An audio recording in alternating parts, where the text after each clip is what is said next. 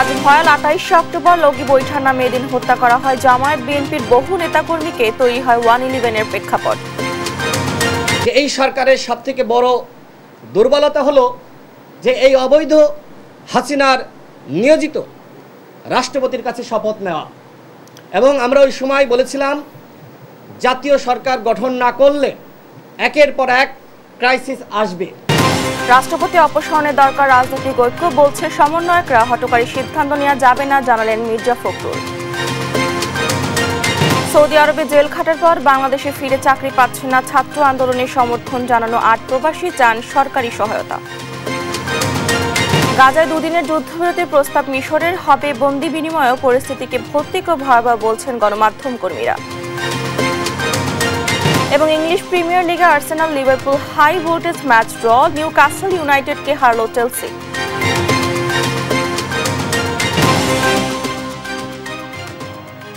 আমন্ত্রণ সংবাদ সকালে দেখছিলেন শিরোনামগুলো, সঙ্গে আছে আমি ডানা ইসলাম। আজ ভয়াল আটাইশ অক্টোবর। দুই হাজার ছয় সালের এই দিনে পল্টন সহ রাজধানীর বিভিন্ন প্রান্তে লগি বৈঠার নামে নৃশংস হত্যাকাণ্ড ঘটিয়ে তৈরি করা হয় ওয়ান ইলেভেনের প্রেক্ষাপট। সেদিনের লগি বৈঠা দিয়ে মানুষ হত্যার ঘৃণ্য নীলনকষা বাস্তবায়নের নির্দেশদাতা ছিলেন স্বৈরাচার হাসিনা। ফ্যাসিস্ট হাসিনার চক্রান্তেই আটাইশ অক্টোবর লগি বৈঠা নামে হত্যা করা হয় জামায়াত বিএনপির বহু নেতাকর্মীকে। বাকিটা জানাচ্ছেন ফখরুল ইসলাম। ওই নৌকার বৈঠা লগি লাঠি যার যা কিছু আছে তাই নিয়ে ঢাকা চলে আসবে। দু সালে চারদলীয় জোট সরকার ক্ষমতা ছাড়ার দিন লগি বৈঠা নিয়ে নৃশংস তাণ্ডব চালানোর এই ঘোষণার পর ঘটানো হয় ভয়াল আঠাশ অক্টোবর।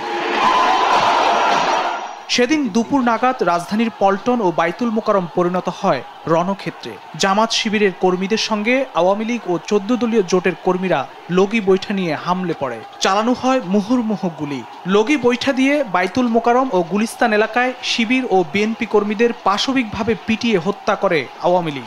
লগি বৈঠার সেই নৃশংসতায় নিহত হন সাধারণ মানুষ থেকে বহু রাজনৈতিক কর্মী। ভয়াল আঠাশ অক্টোবরে লগি বৈঠার তাণ্ডব ক্ষতবিক্ষত করে সড়কে পড়ে থাকা মরদেহগুলোকেও। দুই হাজার ছয় সালের আঠাইশে অক্টোবর ফেসিবাদের দূষর এবং ফেসিবাদের মাস্টার মাইন্ড তাদের লগি বইটার তাণ্ডবের কাছে বাংলাদেশ তার পথ হারিয়েছিল। ঢাকার রাজপথ সহ বাংলাদেশের বিভিন্ন জায়গায় লগিবন্ধা বইটার তাণ্ডব চালিয়ে এদেশের দেশপ্রেমিক মানুষকে সেদিন হত্যা করা হয়েছিল। বিশ্ববিবেক স্তম্ভিত হয়ে গিয়েছিল। অনেক শিশু চিৎকার দিয়ে বেহুশ হয়ে পড়েছিল এই দৃশ্য দেখে। কিন্তু মানুষরূপী যারা কার্যত মানুষ ছিল না, বর্বর পশু ছিল তাদের জন্য এটা ছিল খুবই স্বাভাবিক। ক্ষমতায় যাওয়ার সীমাহীন লালসা থেকে এই হত্যাকাণ্ড সেদিন গঠানো হয়েছিল। পথহারাই জাতি দুই হাজার ছয় সাল থেকে লড়াই করে, বহু পবিত্র জীবন, বহু ত্যাগের বিনিময়ে দুই হাজার চব্বিশ সালের পাঁচই আগস্ট মহান রবের দরবার থেকে উপহার পেয়ে জাতি মুক্ত হয়েছে, আলহামদুলিল্লাহ। এমন তাণ্ডব চালিয়ে নৃশংসতার ক্ষুদা মেটায় আওয়ামী লীগ ও চোদ্দ দলীয় জোটের কর্মীরা। লগি বৈঠার সেই নৃশংসতা চলে সারা দেশে। মানুষ হত্যার এই নৃশংসতায় পদতুলিত হয় মানবতা, স্তম্ভিত হয় দেশবাসী। ভয়াল আঠাশ অক্টোবর লগি বৈঠার তাণ্ডব ঘটিয়ে তত্ত্বাবধায়ক সরকার প্রধান হিসেবে দায়িত্ব নিতে যাওয়া কে এম হাসানকে রুখে দেয় আওয়ামী লীগ। তৈরি করে দেশের ইতিহাসে ওয়ান ইলেভেন প্রেক্ষাপট। আমার উমর মরাতে আমি খুব ক্ষতিগ্রস্ত হয়ে গেছি। আমার স্বপ্ন শেষ হয়ে গেছে আমার ভবিষ্যৎ শেষ হয়ে গেছে আমার সব শেষ হয়ে গেছে। ওয়ান ইলেভেনের সেই প্রেক্ষাপট ধরে সাংবিধানিক সংকটে পদতুলিত হয় রাজনীতি প্রকৃত রাজনীতিবিদদের দিতে হয় খেসারত। সেই মুজাহিদ ভাইকে কীভাবে পল্টনে তাকে ওই লগি বইটা দিয়ে পিটিয়ে হত্যা করে তার লাশের উপর নৃত্য করা হয়েছিল? লগি বৈঠা গণহত্যার বিচার হতে হবে। আঠাশ অক্টোবরের ভয়াল সে লগি বৈঠার তাণ্ডবে অকালে ঝরে কত প্রাণ। বিচারের দাবিতে আজও কাঁদে নিঃস্ব পরিবারের আটটি। ফখরুল ইসলাম, দেশ টিভি, ঢাকা। ছাত্রলীগের কেন্দ্রীয় সভাপতি, সেক্রেটারি সহ চার শতাধিক নেতাকর্মীর বিরুদ্ধে মামলা করেছেন বৈষম্য বিরোধী ছাত্র আন্দোলনের কেন্দ্রীয় সমন্বয়ক আরমান হোসেন। জুলাই গণ অভ্যুত্থানে হামলাকারীদের বিরুদ্ধে সারা দেশে পর্যায়ক্রমে মামলা করা হবে বলে জানান তিনি। এ নিয়ে আরও জানাচ্ছেন এনআই নাহিদ। হত্যাকাণ্ড, ধর্ষণ, নির্যাতন সহ নানা অপরাধের প্রমাণ পাওয়ায় গেল তেইশ অক্টোবর নিষিদ্ধ হয় বাংলাদেশ ছাত্রলীগ। জুলাই আগস্ট গণ আন্দোলনে ঢাকা বিশ্ববিদ্যালয়ের শিক্ষার্থীদের উপর হামলা করায় চার শতাধিক ছাত্রলীগ নেতার বিরুদ্ধে মামলা করেছে বৈষম্য বিরোধী ছাত্র আন্দোলন।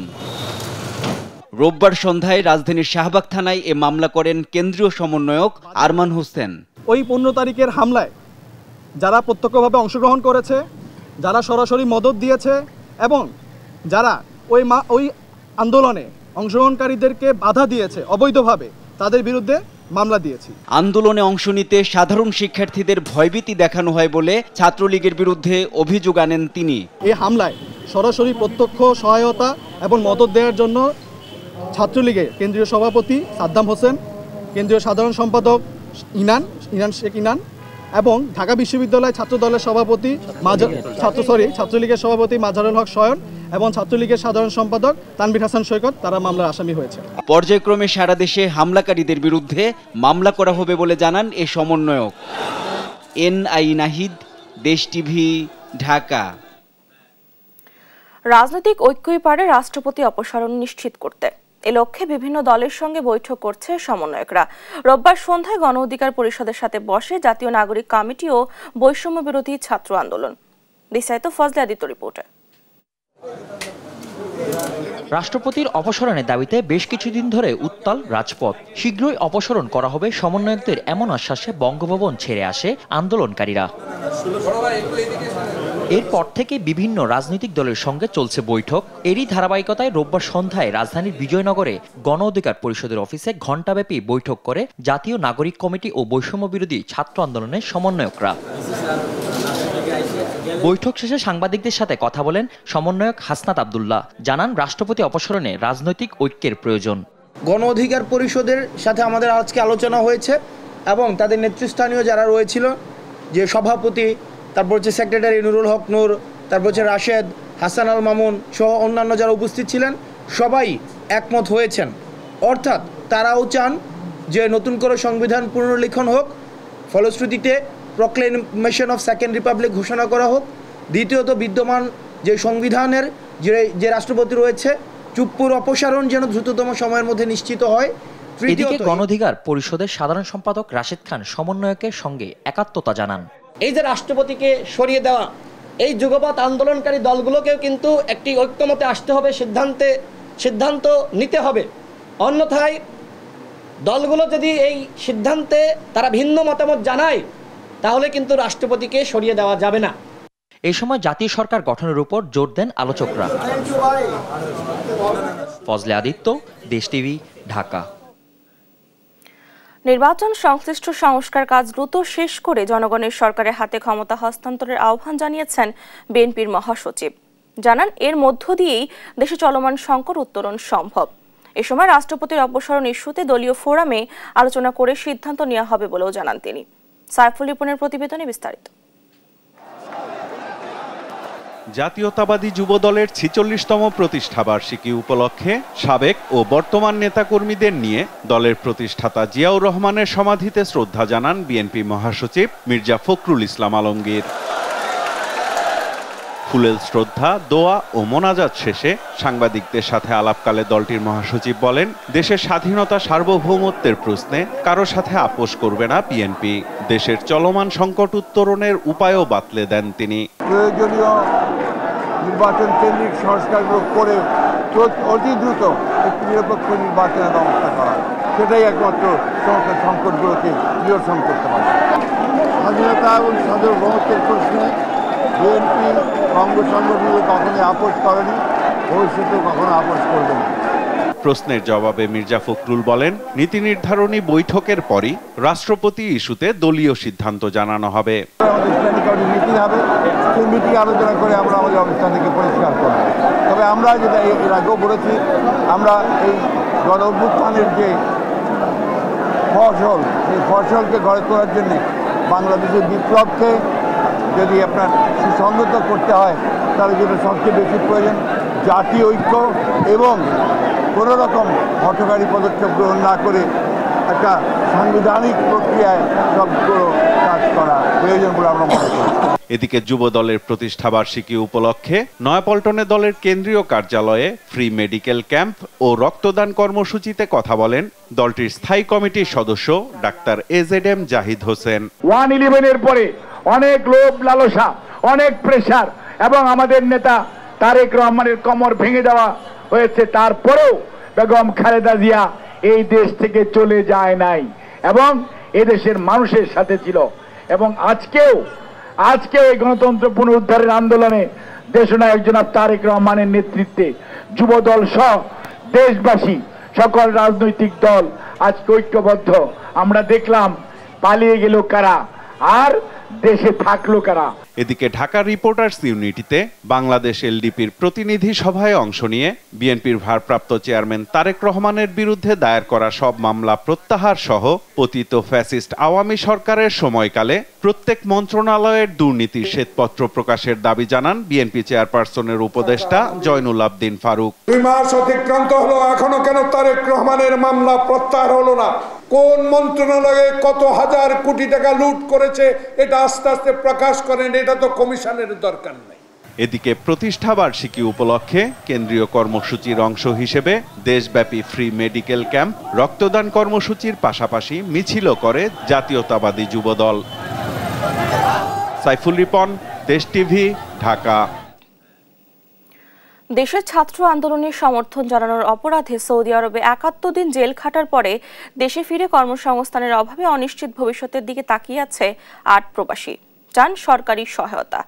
টাঙ্গাইল থেকে সহকর্মী আতিক রহমানের তথ্যচিত্রে বিস্তারিত তারেক মাহমুদ সুজনের ডেস্ক রিপোর্ট। উনিশে জুলাই বৈষম্য বিরোধী ছাত্র আন্দোলনে উত্তাল দেশের রাজপথ বন্ধ, ইন্টারনেট ও সামাজিক যোগাযোগ মাধ্যম।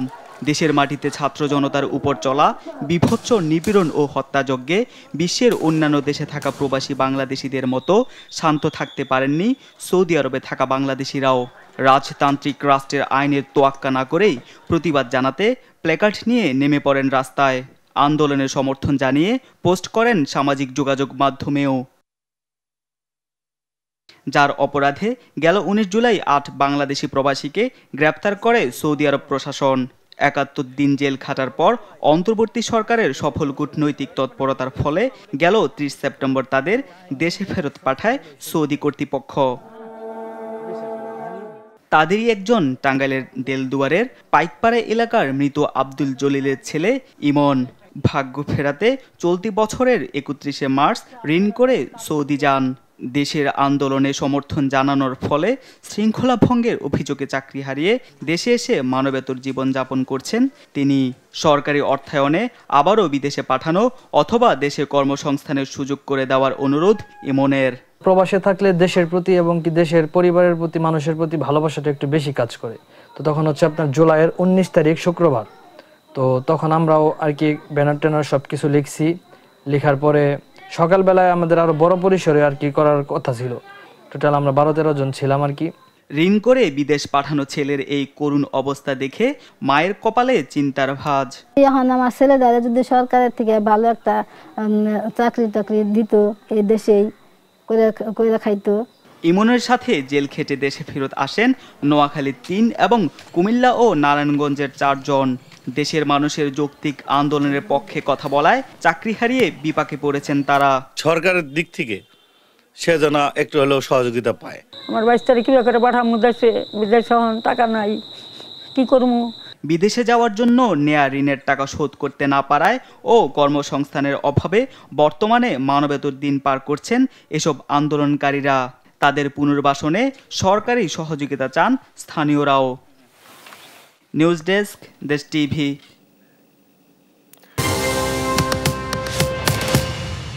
বিশ লাখ মানুষের স্বাস্থ্যসেবার কেন্দ্রবিন্দু পঞ্চগড় সদর হাসপাতাল।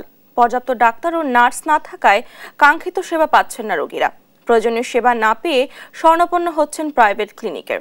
চিকিৎসক ও জনবল সংকটই কারণ, দাবি কর্তৃপক্ষের। সকমী রাশেদুজ্জামান বাবুর তথ্যচিত্রে রিফা হাসানের ডেস্ক রিপোর্ট। পঞ্চগড়ে আধুনিক সদর হাসপাতালটিতে জনগণের ভরসার আশ্রয়স্থল হলেও বর্তমানে প্রয়োজনীয় চিকিৎসা সেবা পাচ্ছেন না রুগীরা। একশো শয্যা বিশিষ্ট এই হাসপাতালটিতে তিনশোরও বেশি রোগী ভর্তি আছেন। প্রতি বেডে থাকছে দুই থেকে তিনজন। পর্যাপ্ত সিট না থাকায় বারান্দায়ও থাকছে অনেকে। মিলছে না ওষুধও। এইদিকে ভুক্তভোগীদের দাবি চিকিৎসক সংকট থাকায় পর্যাপ্ত সেবা পাচ্ছেন না রুগীরা। অনেক রুগী নার্সদের দুর্ব্যবহারেরও অভিযোগ তোলেন। আমরা এখানে আর চিকিৎসা করব না আমরা ভালো চিকিৎসা পাচ্ছি না। বেড পাইনি। এখানে বেডের সংখ্যা খুবই কম নিচে ফ্লোরিং করে থাকতে হচ্ছে আর পরিবেশও তেমন একটা ভালো না। নার্সদের ব্যবহারও ঠিক মতো সময় দিতে চায় না রোগীদের। নিচে ফ্লোরে থাকতে হয় ফ্লোরে থেকে তো আবার বাচ্চা ঠান্ডা লাগে। ঠান্ডার জন্য আসছি যাতে বাচ্চা সুস্থ হয় তাড়াতাড়ি। সেখানে আমাদের ফ্লোরে থাকতে হচ্ছে। ফ্লোরে থাকার কারণে বাচ্চার ঠান্ডা লাগতেছে, কেউ কেউ আবার বারান্দায় আছে। এক বেডে দুইজন শিশু। এক বেডে দুইজন শিশু, এখন দুইজন শিশু এক বেডে থাকা কি সম্ভব? হাসপাতাল কর্তৃপক্ষ জানায় সাঁত্রিশ জন চিকিৎসকের পদ থাকলেও কর্মরত আছেন দশ জন। স্বল্প সংখ্যক স্টাফ নিয়ে চিকিৎসা সেবা দিতে হিমশিম খাচ্ছেন বলে জানান তারা। দেখতে গেলে বেডও বেডও আমরা ঠিকভাবে দিতে পারছি না। এখানে রোগীর চাপ অনেক বেশি। আমাদের এখানে যদি ডাক্তার সংখ্যার কথা বলি এখানে সাতত্রিশ জন ডাক্তারের প্রদানের কথা একশো সজ্জার বিপরীতে। বর্তমানে ডাক্তার আছে মাত্র জন। কাজেই আমাদের এই সীমিত ডক্টর দিয়ে আমরা সর্বোচ্চ চেষ্টা করে যাচ্ছি প্রতিটি রোগীর সর্বোচ্চ সেবা করার জন্য। সহসায় সংকট কাটিয়ে উঠে স্বাভাবিক সেবায় ফিরবে পঞ্চগড়ের মানুষ। এই ভরসার স্থল এমনটাই প্রত্যাশা সংশ্লিষ্টদের। News desk Desh TV.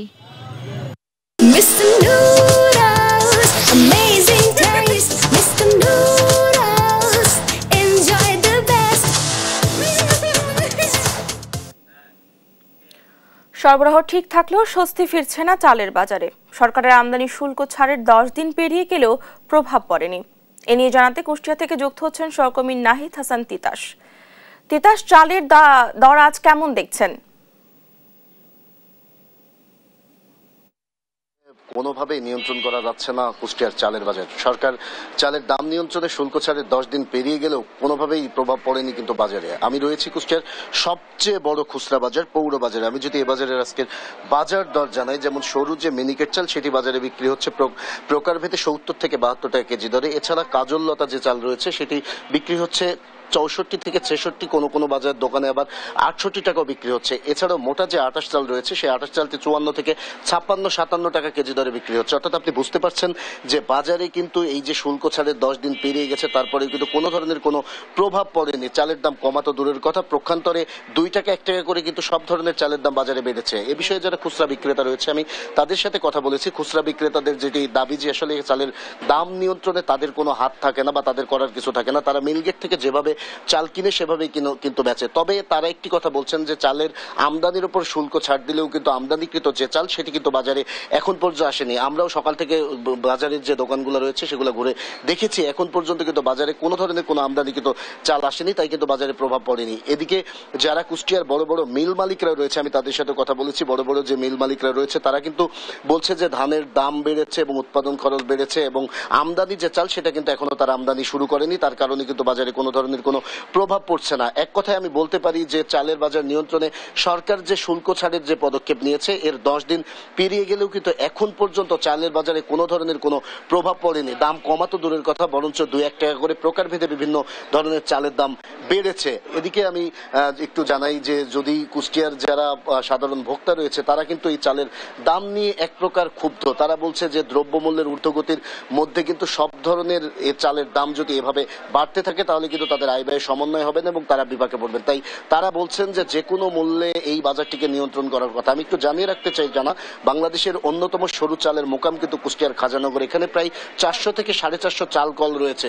প্রতিদিন এই চাল কলগুলো থেকে কিন্তু দেশের বিভিন্ন জেলায় শ টাকা চাল চলে যায়। যদি কুষ্টিয়ার বাজারে চালের দাম নিয়ন্ত্রণ না হয়, তবে কিন্তু দেশের চালের বাজার কোনোভাবেই কমবে না। তাই যারা সাধারণ ভোক্তা আছে, তারা বলছেন যে বড় বড় যে মিল মালিক রয়েছে, মিলগুলা রয়েছে, সেখানে নিয়মিত অভিযান চালানোর কথা বলছেন। তবে চালের দাম কমবে। সর্বশেষ এতটুকু আমি বলতে পারি যে সরকারের চালের দাম নিয়ন্ত্রণের শুল্ক ছাড়ের দশ দিন পার পেরিয়ে গেলেও এখন পর্যন্ত কিন্তু কুষ্টিয়ার যে বাজারগুলো রয়েছে, সেখানে কিন্তু কোনো ধরনের চালের দামের কোনো প্রভাব পড়েনি। দাম কমাতো দূরের কথা। পক্ষান্তরে কিন্তু দুই থেকে দুই থেকে এক টাকা করে চালের দাম বেড়েছে। এই ছিল কুষ্টিয়ার চালের বাজার থেকে আমার কাছে সর্বশেষ খবর। ডানা। তিতাস, ধন্যবাদ আপনাকে। কুষ্টিয়া থেকে চালের দারদম সম্পর্কে জানাচ্ছিলেন আমাদের সহকর্মী। দেখছেন সংবাদ সকাল। অবরুদ্ধ গাজায় চলমান পরিস্থিতি বিবেচনায় দুই দিনের যুদ্ধবিরতির প্রস্তাব দিয়েছে মিশর। রোববার উপত্যকায় ইসরায়েলি হামলা একদিনই অর্ধশত ফিলিস্তিনি প্রাণহানির পর এ প্রস্তাব সামনে এনেছেন মিশরের প্রেসিডেন্ট। এদিকে গাজায় উত্তরের সর্বশেষ পরিস্থিতিকে ভৌতিক ও ভয়াবহ বলে বর্ণনা করেছেন সেখানে থাকা গণমাধ্যম কর্মীরা। লুৎফর কবিরের রিপোর্টে বিস্তারিত। চারদিকে হুড়োহুড়ি আর চিৎকার। গাজার উত্তরের সাথী শরণার্থী ক্যাম্পের একটি স্কুলে রোববার ইসরায়েল বিমান হামলা চালালে এমন পরিস্থিতি সৃষ্টি হয়। স্কুলটি আশ্রয় কেন্দ্র হিসেবে ব্যবহার করছিল ফিলিস্তিনিরা। কিন্তু বোমার তাণ্ডবে হৃদয় বিদারক এক অবস্থা তৈরি হয়। আসমা স্কুলে বিমান হামলা চালায় ইসরায়েল। অনেকে আহত। আহতদের উদ্ধার করে আল আহলে আরব হাসপাতালে নেওয়া হয়েছে। এখানকার লোকজনের কাছ থেকে শুনেছি, জাবালিয়া, পূর্ব ও পশ্চিম গাজা থেকে আসা অনেকে বাস্তুচ্যুত ফিলিস্তিনি এই স্কুলে আশ্রয় নিয়েছিল। এই জায়গাটিও বাদ যায়নি। আমাদের লোকজন ধ্বংসস্তূপের নিচে চাপা পড়ে থাকাদের উদ্ধারে আপ্রাণ চেষ্টা চালাচ্ছে। গাজার দক্ষিণে বিতাড়িত লোকজন উত্তরাঞ্চলে আশ্রয় নিয়েছে, কিন্তু সপ্তাহখানেক ধরে উত্তরে ধ্বংসযোগ্য অভিযান চালাচ্ছে ইসরায়েল। হামলায় আক্রান্ত হচ্ছে গণমাধ্যম ও জাতিসংঘ কর্মীরাও। উত্তরাঞ্চলের সবশেষ পরিস্থিতিকে ভৌতিক ও ভয়াবহ বর্ণনা করেছে সেখানে থাকা গণমাধ্যম কর্মীরা। এ পরিস্থিতিতে করণীয় নিয়ে কাতারের দোহায় চলছে বন্দি বিনিময় ও যুদ্ধবিরতির আলোচনা। রয়েছেন যুক্তরাষ্ট্রের কেন্দ্রীয় গোয়েন্দা সংস্থার পরিচালক উইলিয়াম বার্ন। মধ্যস্থতাকারী দেশগুলোর সঙ্গেই চলছে এ আলোচনা।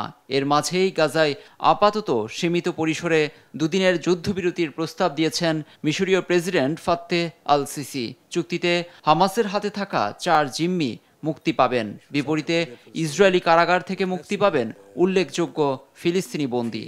في إطلاق مبادرة تهدف إلى এখন যে পরিস্থিতি রয়েছে তা কিভাবে যুদ্ধবিরতির দিকে নেওয়া যায় সেই প্রচেষ্টা চালাচ্ছে মিশর উভয় পক্ষের বন্দি বিনিময় প্রাথমিক চুক্তি হতে পারে মানবিক সহায়তা প্রবেশ এবং পরবর্তীতে পূর্ণ যুদ্ধবিরতি লক্ষ্য আমাদের গাজায় আমাদের ভাইয়েরা কঠিন পরিস্থিতিতে আছে বহু মানুষ অনাহারে যত দ্রুত সম্ভব উপত্যকায় ত্রাণ সহায়তা ঢুকতে দেওয়া দরকার في القطاع ويبقى وصولا إلى إيقاف كامل لإطلاق النار وإدخال المساعدات হামাসের হাত থেকে ইসরায়েলি জিম্মিদের ছাড়িয়ে আনতে কিছুটা নরম হওয়ার ইঙ্গিত দিয়েছেন ইসরায়েলি প্রতিরক্ষামন্ত্রী ইয়ভ গ্যালেন্ট। রোববার তিনি বলেন সামরিক উপায়ে সব লক্ষ্য অর্জন করা যায় না।